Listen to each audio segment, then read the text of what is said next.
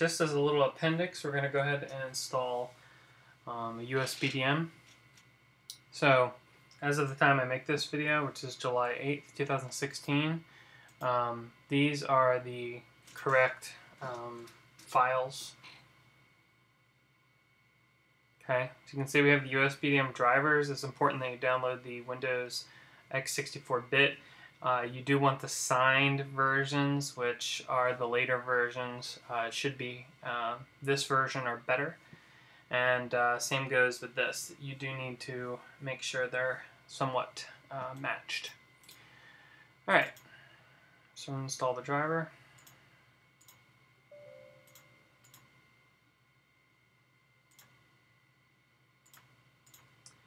And let's install the USBDM. Now on this machine, I only have um, CodeWarrior 5.1 installed. This is a Windows 10 64-bit installation.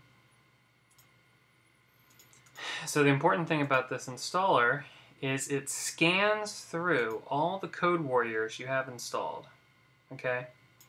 And it finds the ones you have and highlights here. And since we only have 5.1, you can see it picks that up and is pointed here. So it's actually going to go ahead and uh, modify it.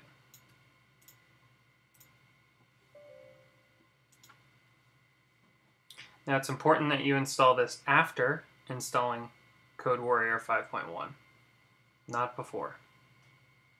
Otherwise the steps are different.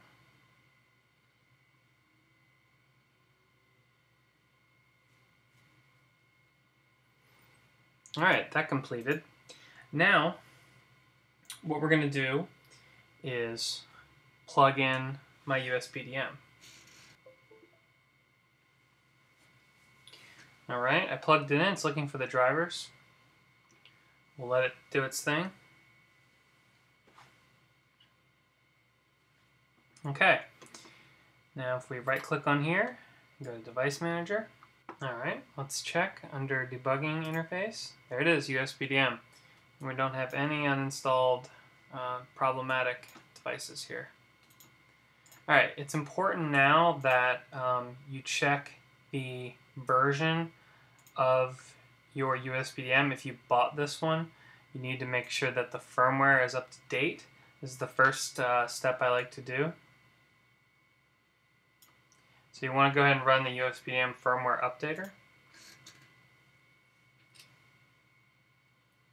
Now the first thing I like to do here is actually do a verify flash. And this is going to fail if you don't have the newest version, but what it does is make sure that you have the um, IDC drivers, ICP drivers, sorry. Now, it's installing drivers here. See how that's happening? That's important. Now if we click verify again, it still fails, but you can see there's no drivers being installed. So now we're ready to update. Select automatically select firmware most of the time.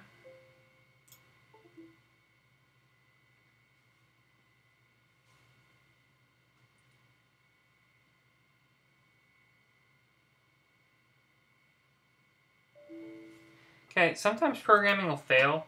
Um, check your USB cable, check your configuration. If you're running it in a VM, it might be a little hairy, uh, but go ahead and just um, try it again. Now this is a really good example. It either worked or didn't work. In this case, it's kind of confused about the serial number.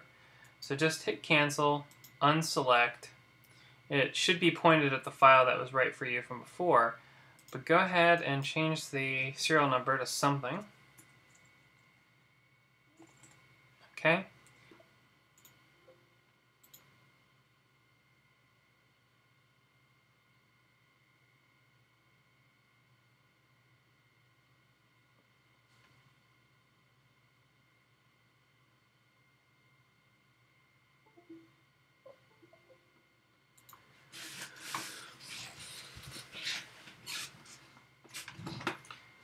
Alright, so we uh, updated the file. Um, in this case for me it was plugging it, instead of directly into my computer, plugging it into a hub, uh, USB hub, so you never know. Sometimes things can be a little hairy. Anyway, the point is that we've updated the firmware now. And now that the firmware is updated, we are ready to do two things. If you just have software you want to program, um, you are ready to go. You can pick your HCS12 programmer um, if your device is powered up. Um, let's check out everything here.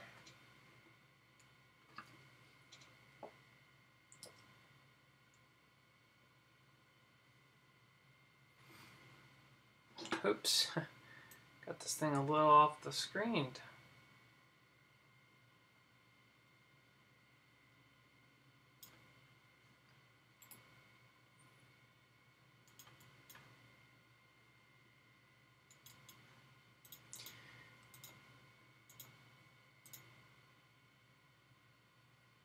Okay, so we can see it detected the chip, so it's talking to the uh, USBDM, and you can see that the DLL version roughly matches the uh, BDM firmware version. So this is working. Alright, now let's start Code Warrior. I'm going to go ahead and run Code Warrior as administrator.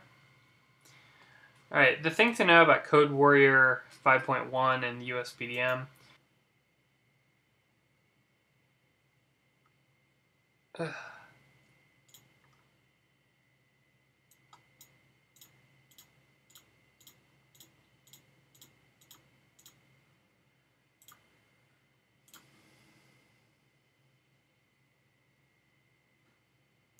right, let's detect our device.